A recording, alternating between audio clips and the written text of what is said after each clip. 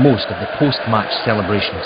Uh, well, you know, it's, it's been a good season. You know, uh, I was sorry to see Rangers lose tonight. I heard they played well though, but you know, uh, we we beat them then three titles in a row.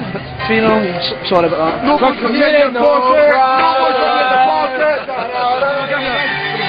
Unlucky Rangers, three in a row. Sorry.